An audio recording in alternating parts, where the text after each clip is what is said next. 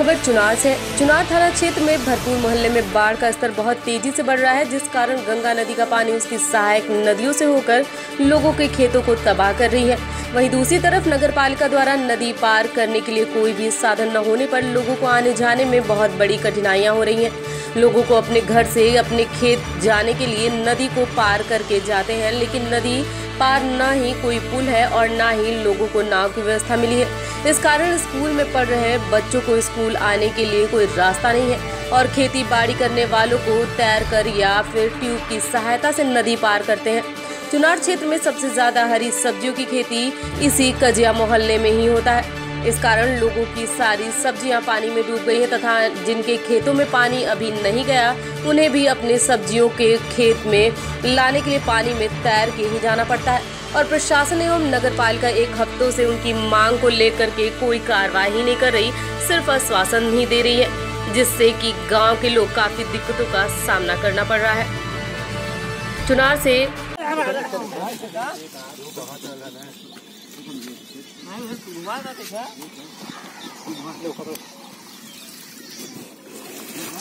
ये किस तरफ़ है नदी पार है सर तो आप ऐसे रोज आते जाते हैं बिल्कुल प्रशासन का कोई मतलब की व्यवस्था नहीं है। तो मतलब आप दिन में कितनी बार आते जाते हैं? कम से कम दस मरतबा पूरे परिवार को ले जाना फिर ले आना साग सब्ज़ी भी जानवर भी उसी पर पड़े हैं। सर मतलब बच्चों को स्कूल आने में दिक्कत है? ठीक।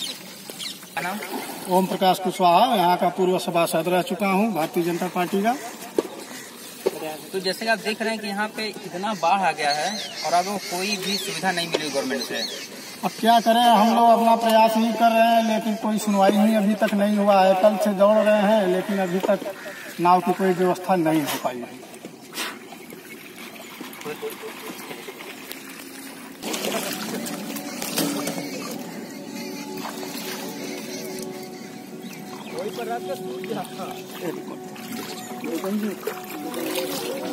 जैसा कि आप देख सकते हैं, हर कोई किसी तरह ट्यूब के माध्यम से उस पार से इस पार आ जा रहा है इसमें गवर्नमेंट की कोई भी सुविधा नहीं है, ना ही नाव उन लोग को मिला है। और जो कि पिछले कितने सालों से यहाँ पे पुल की व्यवस्था के लिए मांग कर रहे हैं, पुल भी नहीं बन रहा है।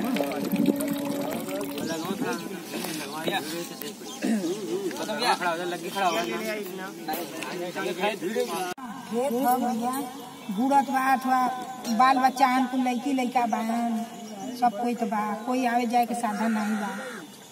सब कोई बा। स्कूल लड़का स्कूल नहीं जात हैं पोती पोता कुल ओठिना पड़ल बा।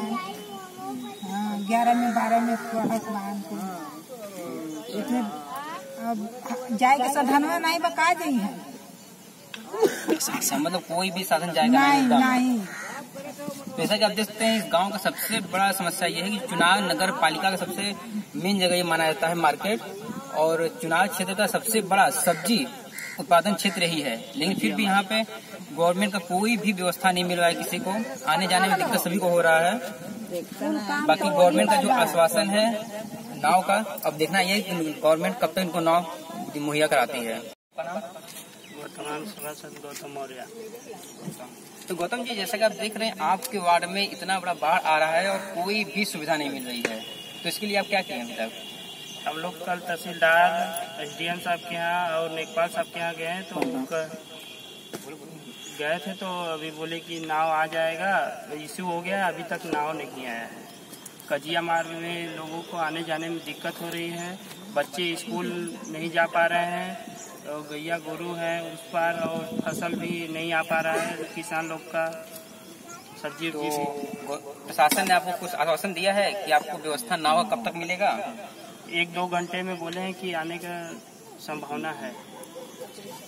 जैसा कि आप देख रहे हैं कि पानी बढ़े हुए लगभग एक हफ़्ता हो गया है और प्रशासन एक घंटे दो घंटे या एक दिन का टाइम ले रही है। तो इसके बाद देखते हैं और लोग भी हमारे साथ जो वहाँ गए हुए थे प्रशासन के पास। आपका नाम? चेत नारायण मौर्य। तो आपको क्या खेत उस पर है? जी भाई साहब जो जो आम का पेड़ दिख रहा है जो दो घर दिख रहे हैं वहीं पे है मेरा। और वहाँ पे गाय भी है बैल भी है तो अगल बगल भी सबके हैं। आने में बहुत परेशानी हो रही है जाने में भी। आप जैसा कि देख रहे हैं कि यहाँ पर पानी जहाँ पे जो व्यवस्थित पुल हम लोगों के द्वारा जो गाँव समाज के द्वारा बनाया गया है उस पे इसमें वर्तमान समय में जो करंट स्थिति है कम से कम 10 फीट पानी होगी। और अभी तक कोई भी सुविधा शासन प्रशासन की तरफ़ से नहीं है। अभी कल हम लोगों से बात हुई थी तहसीलदार साहब से फिर नेपाल साहब से मिले थे पानी गो साहब से। उन्होंने बोला था कि शाम को नाव आप लोगों को उपलब्ध हो जाएगी लेकिन अभी तक नहीं हुई है।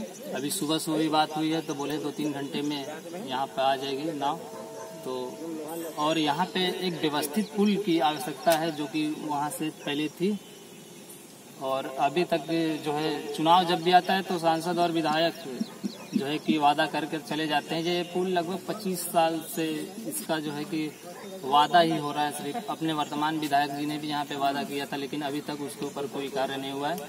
और जब भी हम लोग पूछते हैं तो वही बोलते हैं कि आप के बीच में जो रास्ता लगभग सौ डेढ़ सौ मीटर की दूरी पे जो बीच में है, वहाँ नहीं है, वो रास्ता हो जाए क्लियर। दोनों तरफ़ से जब रास्ता क्लियर होगा, तभी पुल बन पाएगा। तो मैं यही कहना चाहूँगा आप लोगों के माध्यम से कि अगर शासन प्रशासन अगर चाहे, लोग चाहें, विधायक भी चाहें और यहाँ के प्रधान से मिलकर जो है कि वो रास्ता तो निकल जाएगा और ये पुल की समस्या जो लगातार बनी हुई है उस पर काम करना ज़रूरी है क्योंकि आप देख रहे हैं कि इसमें पानी इतना है।